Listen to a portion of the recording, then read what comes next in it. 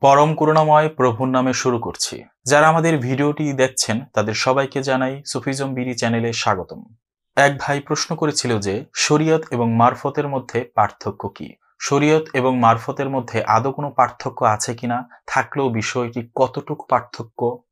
আমরা সাধারণত শরীয়ত এবং মারফতের পার্থক্য সম্পর্কে যে কথাগুলো শুনে থাকি, বিভিন্ন পালাগান বা বিভিন্ন জায়গায় শরীয়ত এবং মারফতের বাহাস এইসব নানা ধরনের কথা শুনে থাকি। আদৌ কি শরীয়ত এবং মারফতের মধ্যে কোনো পার্থক্য রয়েছে? বা শরীয়ত এবং মারফত কি সাংঘর্ষিক? আজকে সেই বিষয়ে আলোচনা করব।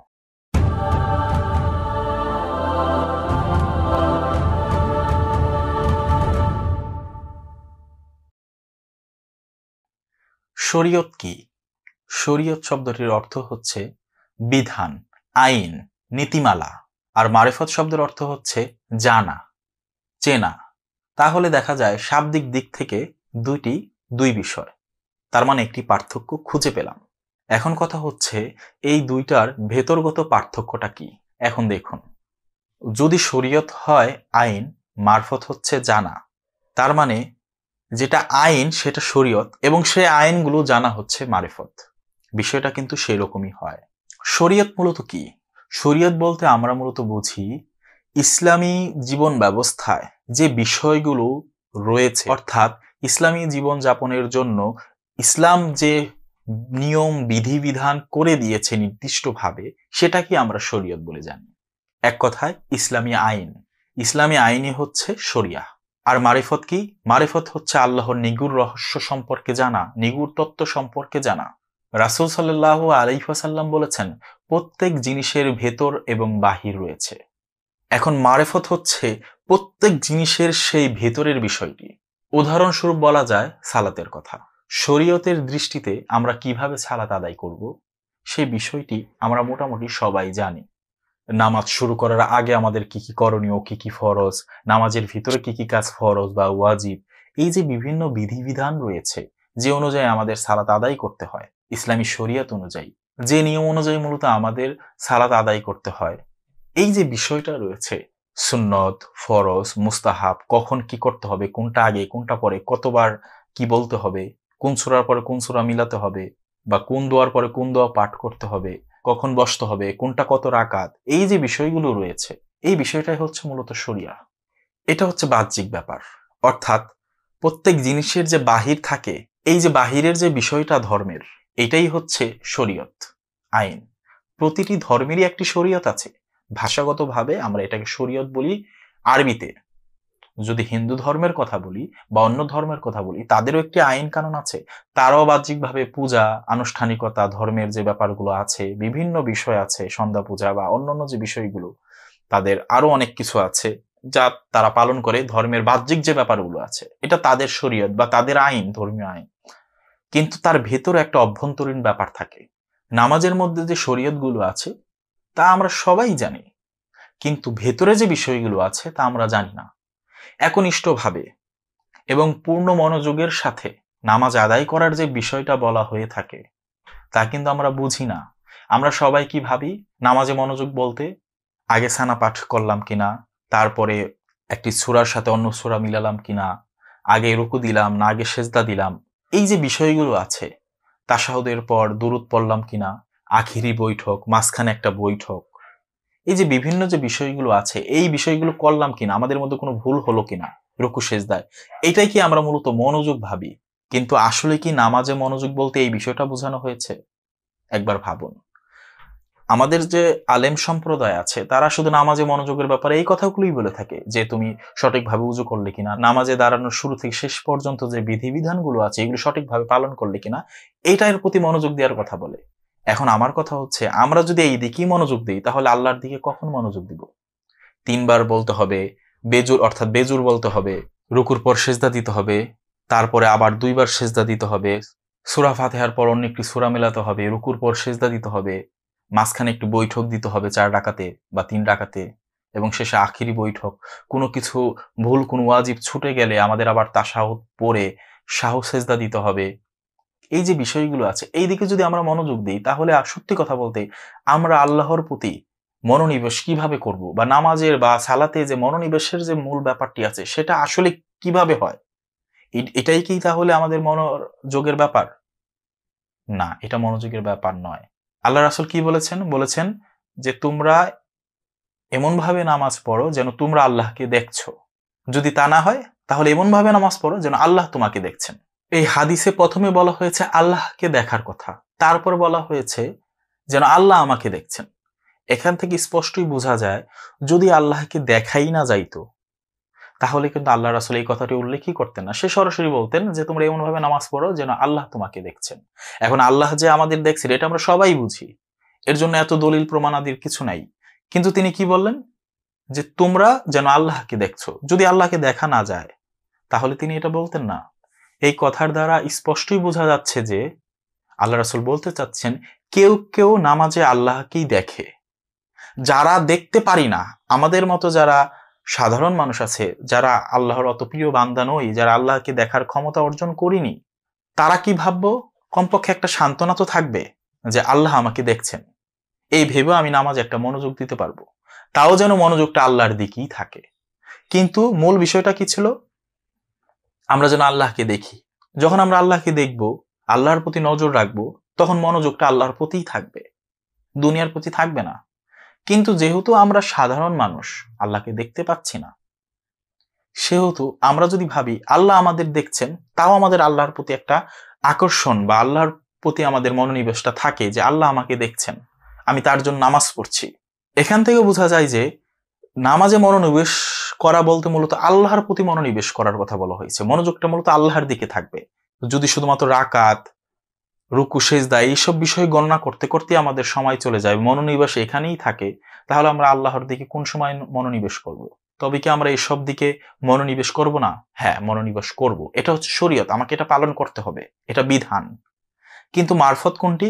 ওই যে আল্লাহকে দেখার কথাটা যে বলা হলো, আল্লাহ আমাকে দেখছে বা আমি আল্লাহকে দেখছি, এটা যে অন্তরে ধারণ করা এবং বিশ্বাস করা এবং এটা অনুধাবন করা, যারা দেখতে পারছে তারা তারা তো পারছেই। তাদের ব্যাপারে তো বলাই হয়েছে যে তোমরা যেন আল্লাহকে দেখছ এমন ভাবে নামাজ পড়ো। তো যারা দেখতে পারছি না, তাদেরকে আল্লাহ দেখছে। এই যে আল্লাহর প্রতি মনোনিবেশ করাটা, ধ্যান, সংযোগ, এইটাই হচ্ছে মূলত মারেফত। যে ব্যাপারে আল্লাহ রাসুল বলেছেন, নামাজ হচ্ছে মমিনের মেরাজ। অর্থাৎ নামাজ হচ্ছে আল্লাহর সাথে কথা বলার একটা মাধ্যম, দেখা করার একটা মাধ্যম। এই বিষয়টাই হচ্ছে মারেফত। আর যে বাহ্যিক যে আনুষ্ঠানিকতা আছে, কোনটার পরে কোনটা, কি করতে হবে, ফরজ, সুন্নত, এই যে বিধানগুলো আছে, এটা হচ্ছে শরীয়ত। তার মানে বোঝা গেল শরীয়ত এবং মারফত সম্পৃক্ত। শরীয়ত হচ্ছে বাইরের বিষয়টি, আর মারফত হচ্ছে সেটার অন্তর্নিহিত গভীর বিষয়টি। কোনোটাকেই আমরা বাদ দিতে পারছি না, আইন মেনে গভীরে যাচ্ছি। তারপরে বলতে হয় সিয়াম বা রোজার বিষয়টি। ইসলামী শরীয়তে রোজার যে বিষয়টি আছে, যে আইনে যে কথাগুলো আছে, সেটা হচ্ছে সুবে সাদেক থেকে সূর্যাস্ত পর্যন্ত সকল প্রকার পানাহার না করা। এটাকে মূলত আমরা রোজা হিসাবে বলে থাকি বা সিয়াম বলে থাকি? আরও কিছু নির্দিষ্ট কাজকর্ম আছে যা ওই সময় করা যাবে না। এটা হচ্ছে বিধান। এটাই শরীয়ত। কিন্তু এই না খেয়ে থাকার পেছনে, এই নির্দিষ্ট কিছু কাজ না করার পেছনে যে বিষয়টি রয়েছে, মূল কারণটি রয়েছে, যে হাকিকত রয়েছে, সেটাই হচ্ছে মারেফত। যদি শুধু না খেয়ে থাকা বা বিভিন্ন কাজ থেকে বিরত থাকাই যদি শুধু রোজা হতো বা সিয়াম হতো, তাহলে আসলে এই কথা বলতেন না। সেই ব্যক্তির জন্য রোজা বা সিয়াম উপোস ছাড়া বা না খেয়ে থাকা ছাড়া আর কিছুই না। যে রোজা রাখল বা না খেয়ে থাকল, কিন্তু পাপ কাজ থেকে নিজেকে বিরত রাখতে পারল না। তার মানে স্পষ্টভাবেই বোঝা যাচ্ছে যে রোজার প্রকৃত অর্থ বা প্রকৃত নিগুর রহস্যটা কি, নিগুর তত্ত্বটা কি। মূল বিষয়টাই হচ্ছে সকল প্রকার পাপ কাজ থেকে নিজেকে বিরত রাখা, সংযম করা। এটাই হচ্ছে মূলত সিয়ামের হাকিকত। না খেয়ে থাকাটা মূল বিষয় নয় বা নির্দিষ্ট কিছু কাজ থেকে বিরত থাকা নয়। তারপর সিয়ামের আরও অনেক হাকিকত বা মারফত রয়েছে, গুপ্ত বিষয় রয়েছে। ইফতারের একটা হাকিকত বা মারফত রয়েছে, সাহারির একটা বিষয় রয়েছে, রোজার পরে ঈদের একটা ব্যাপার রয়েছে, যে আধ্যাত্মিক বিষয়গুলো আছে, সেগুলো হয়তো অন্য কোনো ভিডিওতে বা অন্য কোনো সময় আলোচনা করব। ওই যে ভিতরের বিষয়গুলো রয়েছে, সেইগুলি হচ্ছে মারেফত। আর বাইরের বিষয়টি হচ্ছে কি? শুধুই না খেয়ে থাকা, এই টাইম থেকে এই টাইম এই নির্দিষ্ট কিছু কাজ আছে যেগুলো এই টাইমে করা যাবে না? তবে রোজার সূর্যাস্তের পর থেকে সুবে সাদেকের আগ পর্যন্ত এই কাজগুলি করা যাবে। আমরা মূলত সেটা কি রোজা ভাবি? অনেক কি দেখা যায় যে নামাজ পড়ে না বা অন্য কোনো কাজ করে না, ভালো কাজও করে না। কিন্তু রোজার মাস আসলে তারা ঠিকই তিরিশটা রোজা রাখে এবং রোজা রেখেও পাপ কাজ করে। কারণ তারা না খেয়ে থাকা কি রোজা মনে করে? রোজার হাকিকত বা রোজার যে শিক্ষা কোনো কিছুই তারা পায় না। এজন্য এক মাস তারা তিরিশ দিন রোজা থাকে এবং বাকি এগারো মাস তারা পাপ করে। ইভেন ওই তিরিশ দিনও তারা পাপ করে। তারা ভাবে সুবে সাদিক থেকে সূর্যাস্ত পর্যন্তই শুধু পাপ কাজ করা যাবে না বা কিছু করা যাবে না বাকি সময় সব করা যাবে। এজন্য তারা রোজার মাসটা ভালো থাকে। কাউকে গালি দেয় না। গালি দেওয়ার ইচ্ছা করলে বলে যে আজকে আমি রোজা এই জন্য মুখ খারাপ করলাম না বা এটা করলাম না সেটা করলাম না। এরকম কথা বলে। তার মানে তারা ধরেই নেয় যে এই অবস্থায় এই কাজটা করা যাবে না। কিন্তু মারফতের রোজাটা কি? মারফতের রোজার হাকিকত কি? মূলত একজন মানুষ যখন বালেক হয়, তারপর থেকে তার রোজা শুরু হয়ে যায়। জন্ম থেকে মৃত্যু পর্যন্ত যখনই তার পাপ এবং পুণ্যের হিসাব নেওয়া হয়, তখন থেকে সে আর কোনো পাপ কাজ করতে পারবে না। সবসময় তাকে সংযম করতে হবে। এটাই মারফতের রোজা। না খেয়ে থাকা বা নির্দিষ্ট কাজ থেকে বিরত থাকা, এই যে বাহ্যিক আইন, এটাই শরীয়ত। আর ভেতরে যে শিক্ষা, সেটাই মারেফত। জাকাতের বিষয়টাই এইরকমই। বাহ্যিকভাবে সম্পদের আড়াই পার্সেন্ট দান করা হচ্ছে শরীয়ত। কিন্তু মারফতের জাকাত মূলত দেহের ভেতরে। দেহের ভেতরে একটা অংশ আছে যেটা জাকাত দিতে হয়। তার মানে এই নয় যে আমরা শরীয়তকে পালন করব না। দুনিয়াদারি বা বাহ্যিক যে হিসাবটা আছে সেটা আমাদের করতে হবে। সেটার পাশাপাশি আমাদের ভেতরে যে ব্যাপারটা আছে সেটা করতে হবে। কারণ রাসুল যেহেতু বলেছেন, ভেতর এবং বাহির আছে। আমি শুধু ভেতর নিয়ে থাকলেই হবে না, আমার বাহিরেরও গুরুত্ব দিতে হবে। বাহিরটা পালন করার পর আমি ভেতরেরটা করব। যদি শুধু ভেতর নিয়ে থাকি, বাহির বাদ দিই, তাহলেও আমার এই বিষয়টার কোনো অস্তিত্ব থাকে না। কারণ আমার দেহ না থাকলে আমার তেমন কোনো অস্তিত্ব নেই। আমি চলতে পারব না, কাজ করতে পারব না। আমার এই দেহটি হচ্ছে শরীয়তের মতো। আর ভেতরে যে আমি আছি, সেটাই হচ্ছে মারিফত। দেহ ছাড়া আমি চলতে পারছি না, আমি ছাড়া দেহ চলতে পারছে না। সুতরাং দুইটারই গুরুত্ব আছে।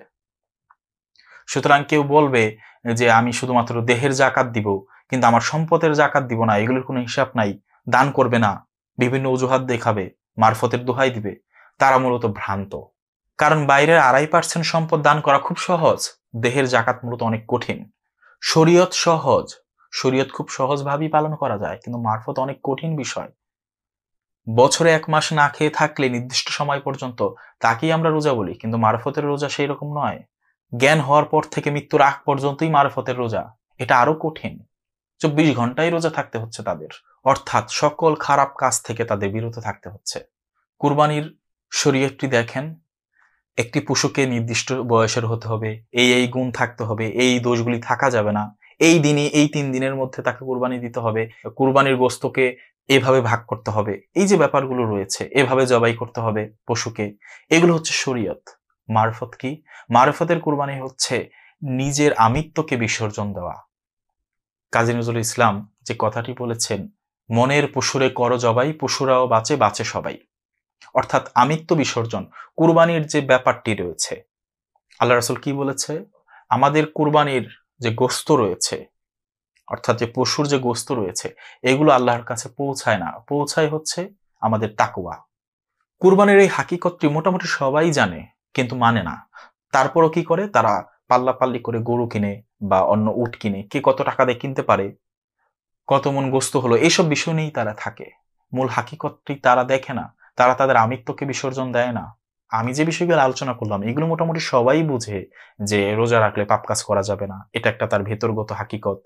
কুরবানি করলে মনের ভেতরের পশুকেও জবাই করতে হবে, এটাও সবাই বুঝে, কিন্তু এটা পালন করে না। তো শরীয়ত হচ্ছে এরকম বাহ্যিক যতগুলো বিষয় আছে ইসলামের, সবগুলো বিষয় হচ্ছে শরীয়তের মধ্যে পড়ে। অর্থাৎ আইন, বিধিবিধান, কীভাবে কি করতে হবে। আর মারফত হচ্ছে সেটারই ভেতরগত বিষয়টা। শরীয়ত এবং মারফত হচ্ছে ঠিক আমাদের দেহ এবং আমাদের মতো।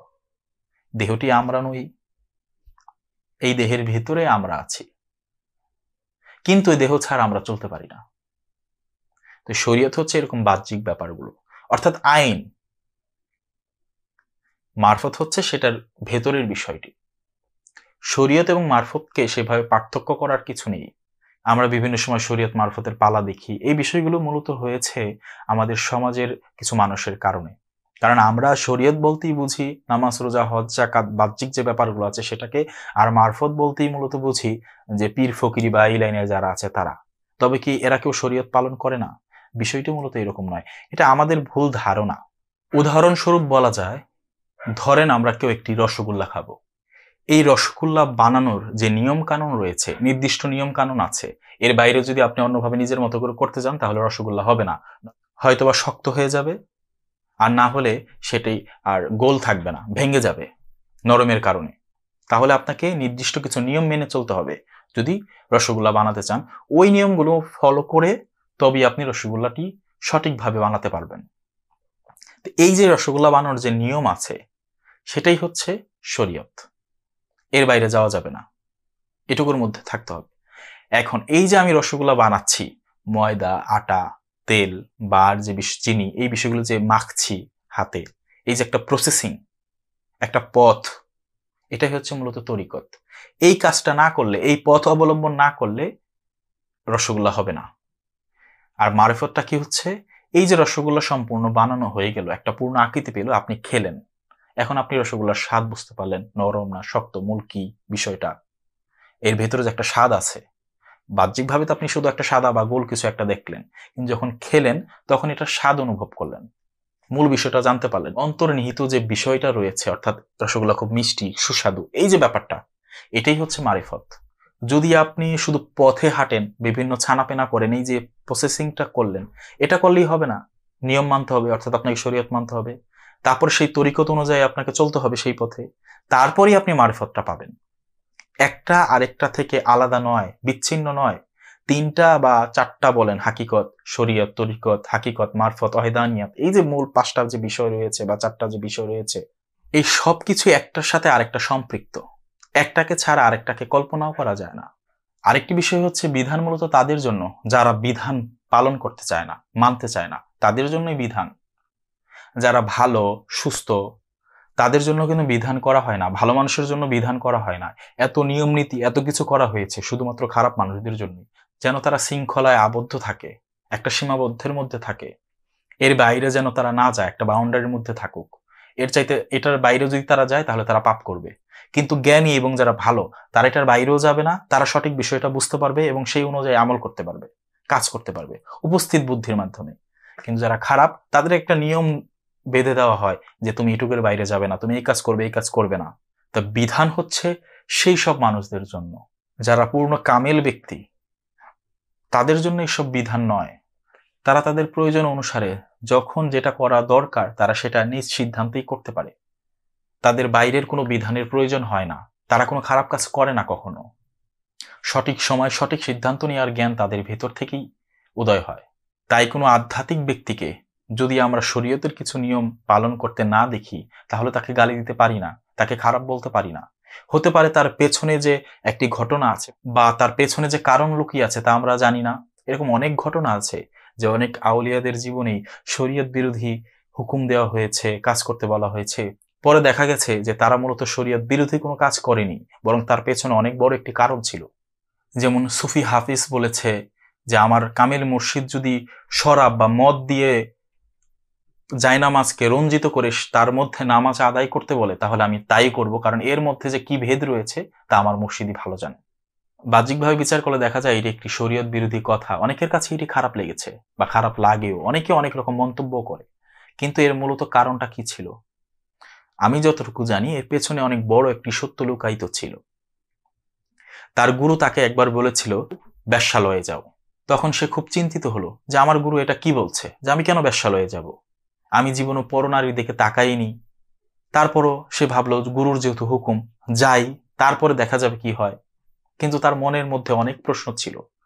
তারপরে যখন সে ব্যবসালয়ে গেল, তখন সে দেখল, দস্যুরা তার স্ত্রীকে অপহরণ করে নিয়ে ব্যবসালয়ে বিক্রি করে দিচ্ছে। তারপরে সে সেখান থেকে তার স্ত্রীকে উদ্ধার করে নিয়ে আসে। তখন সে বুঝতে পারে, মূলত তার গুরু বা মুর্শিদ কেন তাকে ব্যবসালয়ে যেতে বলেছিল। এর পেছনে আসলে কি কারণ ছিল?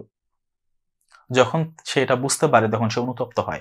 তারপরে সেই বাক্যটি লেখে যে, আমার মুর্শিদ যদি শরাব দিয়ে যায় নামাজ রঞ্জিত করে আমাকে তার মধ্যে নামাজ আদায় করতে বলে, আমি তাই করব। কারণ সে তখন বুঝতে পেরেছিল যে, আমার মুর্শিদ বিনা কারণে আমাকে কোনো কাজ করতে বলবে না।